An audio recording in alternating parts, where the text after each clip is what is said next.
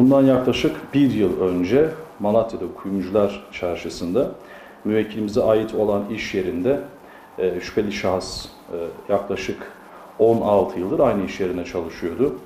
Ve e, uzunca bir süre hesap defterinde hem müşterilere ait olan hem de iş yerine ait olan paraları kendi hesabına, kendi uhdesine geçirerek e, bir suç eyleminin içerisine girdi.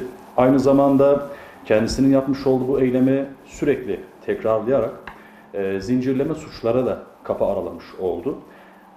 Bu şekilde aslında milyonları aşan bir e, vurguna sebebiyet verdi. Müvekkilimizin Malatya Cumhuriyet Başsavcılığına yapmış olduğu suç duyurusu neticesinde de şahıs gözaltına alındı. Gözaltında da suçunu ikrar etti. E, ifadesindeki çelişkilerde, çelişkili ifadelerde daha doğrusu miktarları sürekli olarak netleştiremedi. 3 milyon dedi, 3,5 milyon dedi.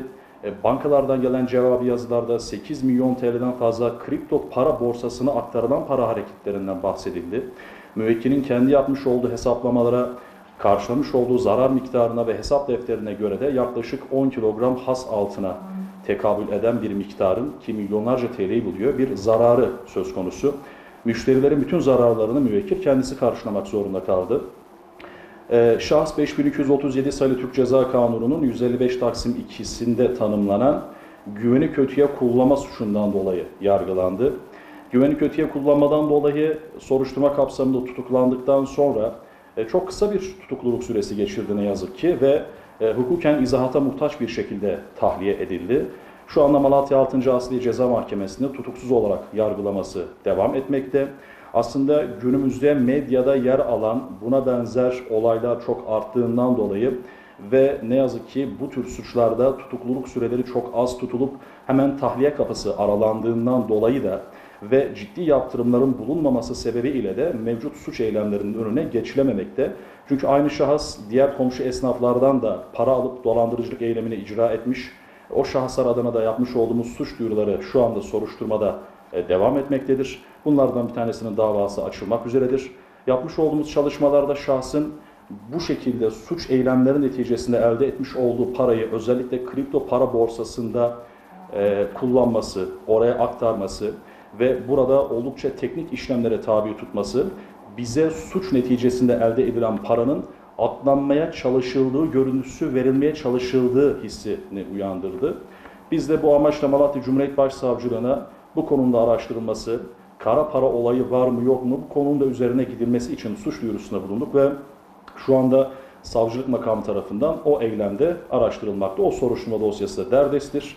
Ee, şahıs müvekkilimize karşı milyonlarca TL'yi bulan bir vurgundan sonra güveni kötüye kullanmak suçu ile şu anda 6. Asliye Ceza Mahkemesi'nde yargılanmakta. Mevzuatımız mevcut suça 1 yıldan 7 yıla kadar hapis ve 3000 güne kadar adli para cezasını öngörmekte. Elbette ki e, yasal koyucuların bu ve benzer suçlardaki yaptırımlarını oldukça yüksek tutmasını ve bu minvalde Türk Ceza Kanunu'nda yeni düzenlemelerin yapılmasını talep ediyoruz. Ancak e, şu anda kanunu uygulayıcılar, e, karar e, mercileri mevcut mevzuat hükümlerine göre yapacakları yargılamalarda da bizim yapmış olduğumuz yazılı ve sözlü savunmalarımız neticesinde beklentimiz şahsın önümüzdeki celsede üst sınırdan cezalandırılmasıdır.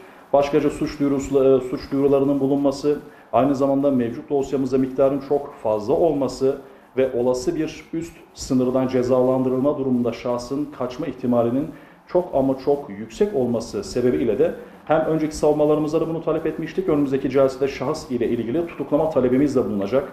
Ee, soruşturma aşamasında da Malatya gündemine oturan bir olaydı. Bu vesileyle bu tür suç eylemlerinin önüne geçilebilmesi ve aslında e, suç teorisinin kefaret, bedel ödeme ve bir daha bu tür eylemlere yaklaşmama ve işlememe yani yaptırım e, müessesesinin ciddi anlamda uygulanabilmesi açısından biz emsal karar da olması açısından e, şahıs hakkında hem üst sınırdan cezalandırılmasını hem de tutuklanmasını talep edeceğiz. E, umarız adalet yerini bulur diyoruz.